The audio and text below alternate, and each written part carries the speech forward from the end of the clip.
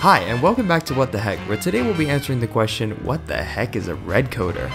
Well, I'll tell you. So, as is the case with a lot of redstone contraptions, it is useful to first visualize it as a black box. So as you can see here, we have a black box and a line of redstone lamps here, and one of them is on. And so if we come over here to this item frame with the arrow in it and give it a quick spin, you can see that the lamp that is lit has moved along this line. So now it's the second one, and now it's the third one, now it's the fourth one, and so on all the way to the eighth one, as you can see down there, and if we spin it one more time, it moves back to the front. A key observation here is that only one of the lamps is on at any given time, so anytime that I rotate this arrow, you can see that all the rest of them are off except for that one. That's a lot different than, say for example, a simple line of redstone coming off of this comparator. You can see that when I spin the arrow, then it does march along, but you can see that all of the lamps behind it stay on, so it's not a single signal that's coming out of this. The red coder actually gets its name from its real-life counterpart, the decoder, which functions in a very similar way.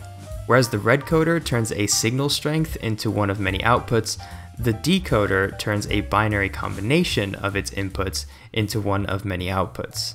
Now, of course, it's possible to build a decoder in Minecraft as well, but thanks to signal strength, Redstone is a little bit more than just a binary on and off signal, which means we can extract more information out of a redstone line than just whether it's on or off. So outside of computational redstone, you'll be seeing a lot more red coders out there than decoders. So with that said, let's tear into this thing and see exactly what's going on under the hood.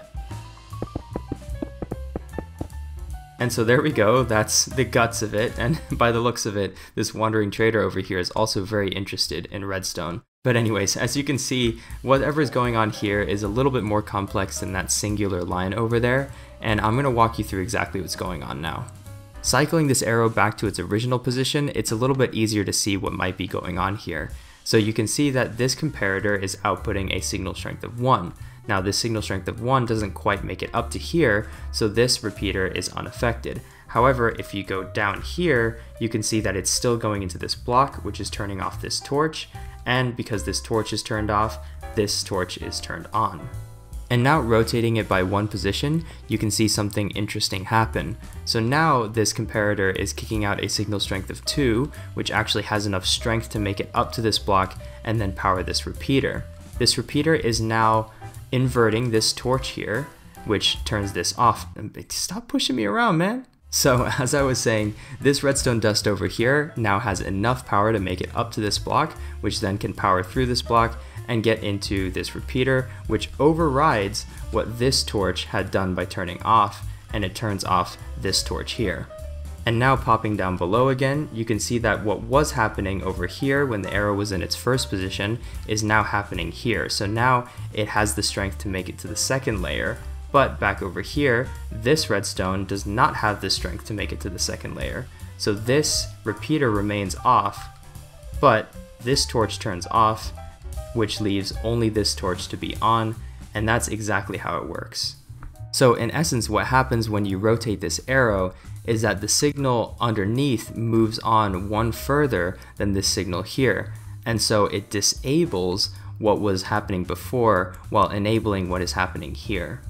Now, one thing to note is that some of you may have seen a red coder before, and you may have seen it built like this instead without target blocks and more redstone on top like this. Now, this is also a valid way to do it, but using the target blocks, although slightly more expensive, is probably going to be a little bit more lag efficient too, although the difference is very negligible.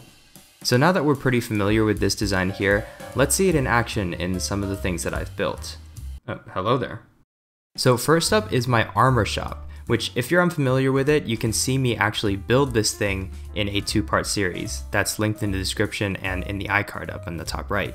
So the way that you interface with this machine is you go over to this lectern and you flip through this book to find which armor that you want, and then from there you call it using this button. That signal gets picked up with this comparator and gets transported all the way down here where we see, ah, look at that, our very familiar friend, the red coder. And you can see that this red coder is set up mostly traditionally, but you can see that the second torch is moved all the way over here, and that's because it's done on a selection circuit. So our very familiar one torch on is actually showing up over here. Then I have it set up so that when these slime blocks move above these torches, then finally the signal gets moved onto here, and then it's inverted here. So you can see here that any sort of selector interface is a great use case for a red coder. Now on to the next example. So here we're in our world with the elevators, that's my V1 elevator and this is my V2 elevator, and you might be thinking, just kind of looking through the circuitry, where do you find a red coder in here?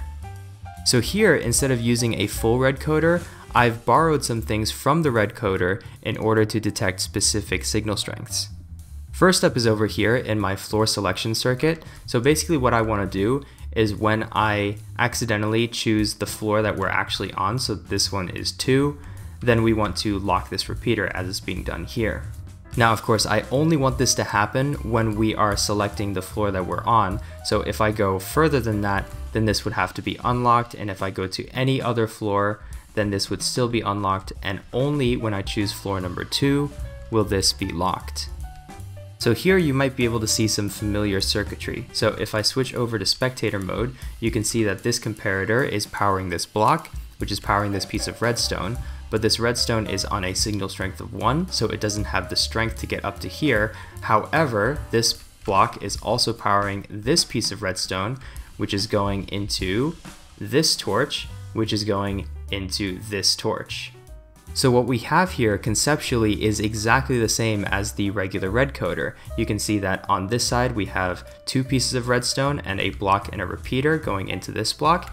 And on this side we've got one piece of redstone going into a block, going into a torch, going into the same block that this repeater is powering with a torch on it. So you can see that this is basically a rearranged version of one slice of the red coder.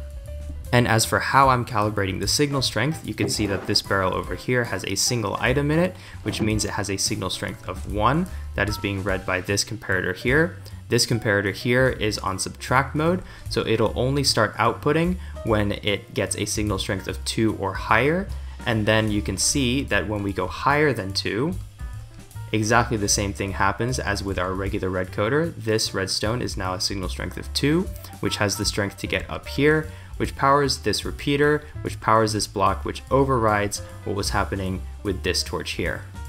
You see, another place where you would want to detect the exact signal strength that's coming in is when you want to determine whether or not you want to stop the elevator at your floor. So you can see that we've got another deconstructed red coder over here. You've got your comparator reading off of a barrel, which is going into a comparator here in subtract mode. And you've got your two redstone lines here going into repeater and you've got your one redstone line here going into another repeater. You can see that this is going into a block with a torch. This one is going into a block that is also getting power from the torch below it. And you can see that this torch is the output here. And of course, this here looks even more different than the last example because there's no target blocks and there's more repeaters, but I hope you can see that it does the exact same thing anyway. And there you have it, a short introduction to what the heck red coders are. Hope you learned something, and if you did, I'd really appreciate it if you left a like on this video and subscribe for more redstone guides like this. Alright, that's it. Bye.